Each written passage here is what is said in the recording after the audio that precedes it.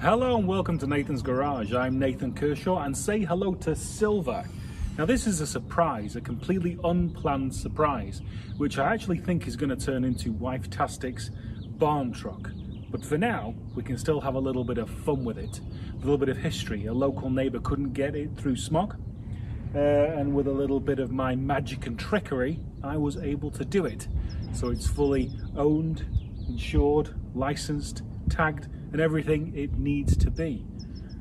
I've had it a few weeks. It's absolutely awesome. I am fully on the LS Swap the World train because the engine's great and you can get parts for them anywhere super cheap. Let's have a look around. One thing that Chevy did not bestow upon this truck was paint that stuck.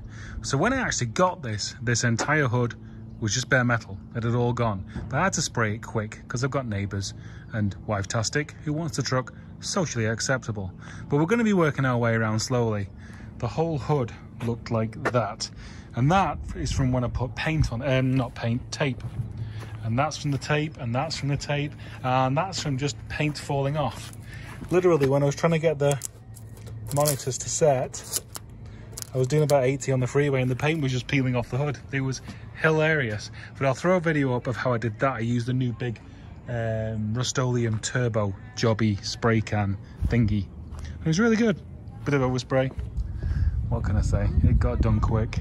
So it's an extended cab, or whatever this kind of cab's called with the suicide doors. Huxley is not impressed with how low he is and how much he can't see through that window and the fact that that window doesn't open as well only just you know opens a little bit. And as you can see plenty of uh, king size seafoam and Cataclean which really really helped in the smog process. It's like 112,000 miles. And look at the interior. It's awesome. I really really like the thing. Great tires. Next thing I'm going to be doing is cleaning the old girl.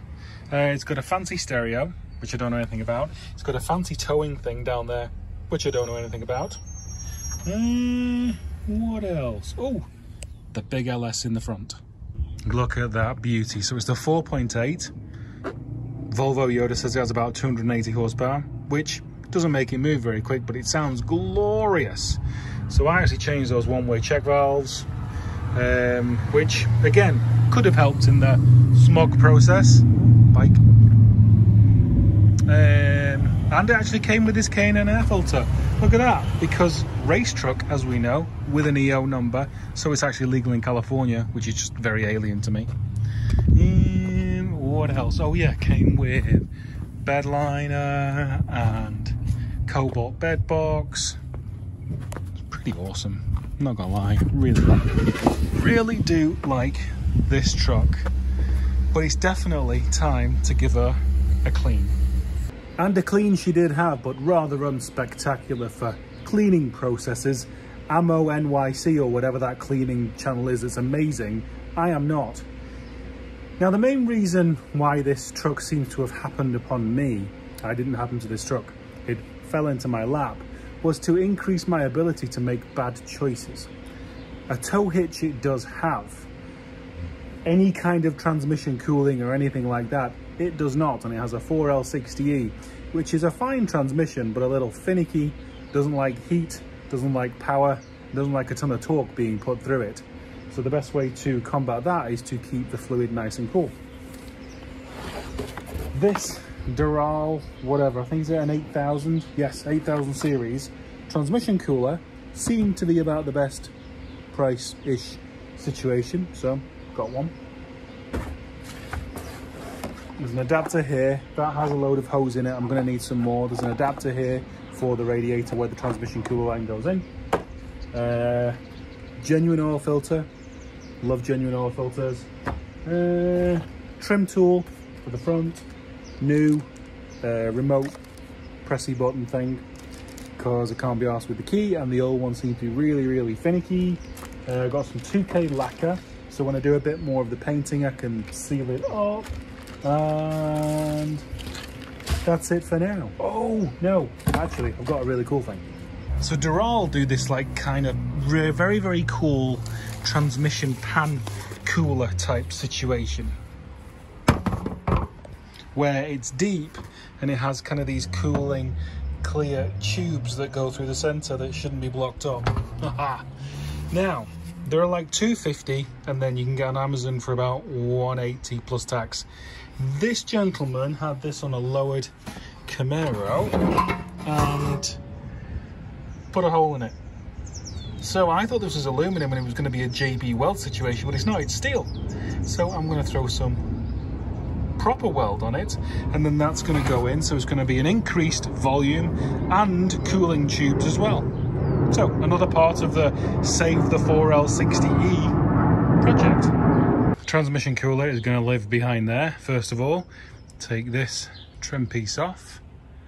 That tool pull the center up and then you can hook the rest of it up and it comes out like that.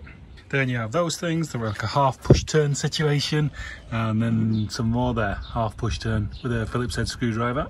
So I just checked uh, clearances with the grill on, and we can run this like basically all the way out here. We don't have to like, you know, vacuum it or suck it onto this front bracket, um, you know, uptight because we have an absolute ton of room so we can run it quite far. Kind of proud. Obviously it's gonna be that side but proud of the actual latch itself. As you can see I'm not too bothered about symmetry. There was already a hole there so I thought let's use it.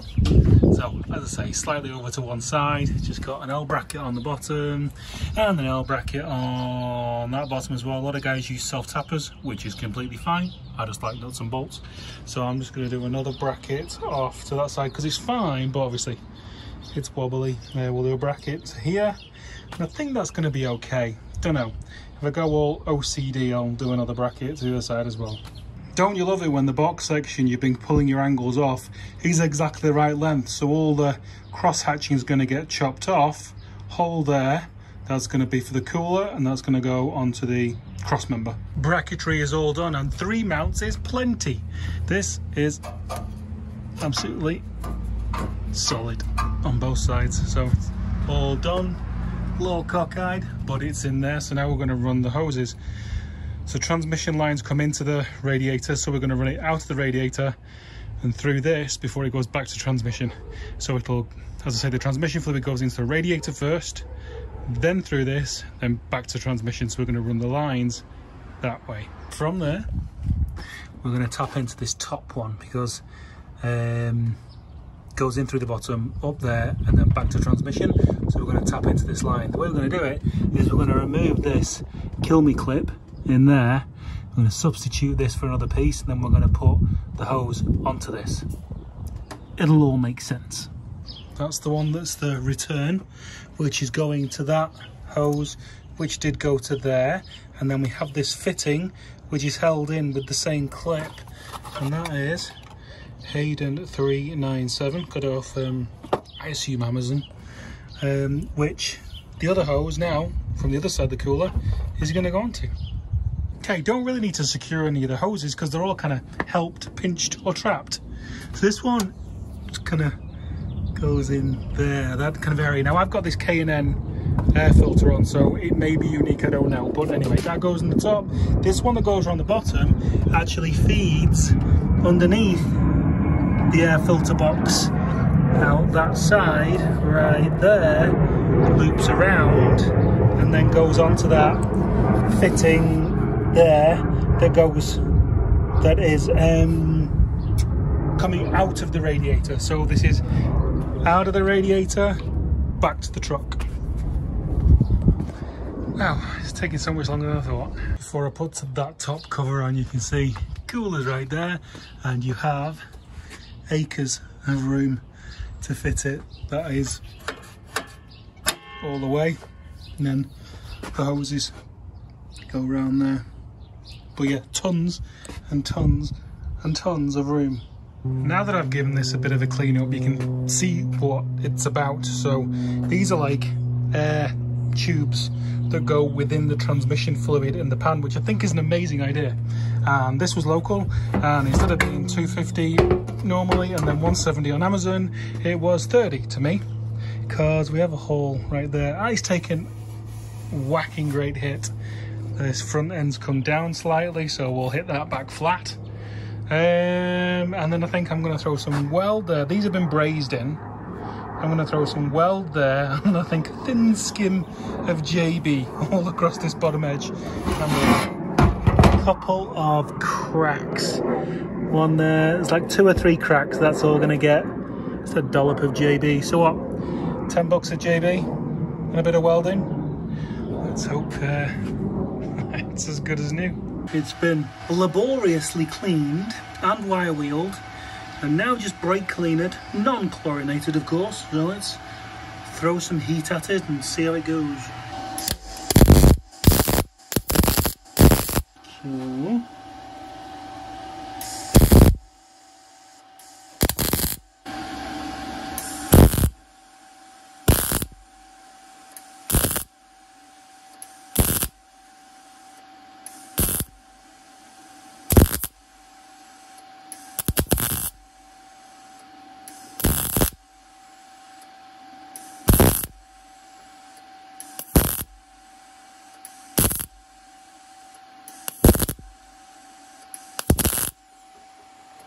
Nice. There you can see where it's really thin. Awesome.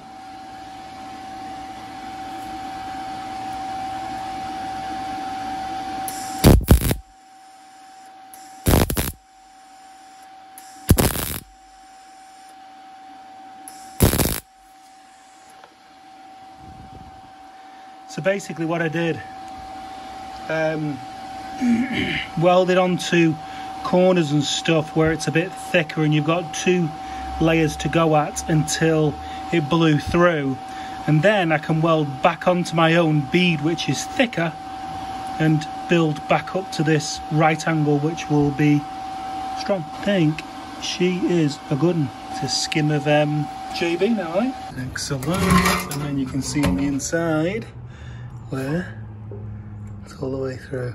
So I thought you guys might like to come along on this JB Weld journey. That's what we've done so far, covered the the weld and then just kind of like skimmed further along. It's actually taking less than I thought, so this is literally the dregs of tubes that I've had left over. So I mean, none of this is leaking. So I'm just trying to do a thin skim, if you know what I mean.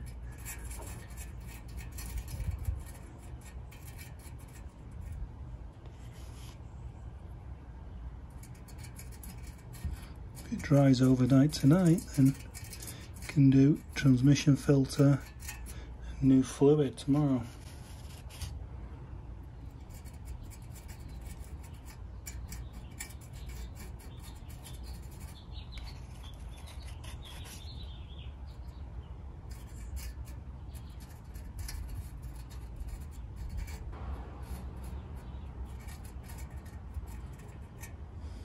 I'm not gonna lie, I'm pretty happy with that. I'm pretty happy with that. There we go. That's where it was welded. And then just put a skim across the front edge all the way along. Okay, pan filter is on and repairs have been effected.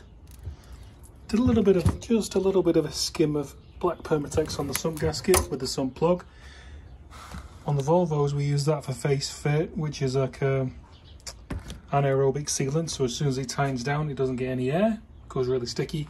And I thought it'll be a good way to hold at least the bottom half of this gasket in place. The ATF is running down onto the top so this is a rubber gasket so I'm assuming the gasket is going to be good enough itself. The pan obviously taking some hits seems pretty flat. Uh, and luckily the holes on the rubber gasket hold the bolts up so I can offer it up and then put the screws in. The eagle-eyed among you will realise that this is not on the truck. And I am here to inform you, the original is. Because this bugger wouldn't go on with the exhaust crossover pipe in place. I tried to undo a couple of bolts on the downpipes to manifolds and they were very, very tight. And I was not in the mood to snap anything last night because my quality Harbor Freight torque wrench kind of jammed and I nearly snapped a bolt off in the pan. So everything just got dumped and I ran in the house screaming for my sanity. So there you go. That's in, that's on. I'm gonna torque it up, oil filter on, fill her up, and I think fire her up. Ladies and gentlemen, boys and girls, that is it for this one. The oil is in of both RFI and she is very happy, obviously, because I feel like I've changed four of the 12 quarts of transmission fluid in the truck. I feel like it's shifting like it's never shifted before. But I guess that's just me. So, everything's cool, oil and filter done, transmission, fluid and filter done. Next, I wouldn't mind actually getting some raised spindles on it because it's got a bit of a stink bug stance. So that's going to be in the list of things to do. Uh, cleaning up some of the tow hitch wiring. I'm halfway through doing that and flushing out the brake fluid because it's completely black. Apart from that, everything is damned perfect. All right, thank you so much for watching. I have been Nathan Kershaw. This has been Nathan's Garage. See you next time.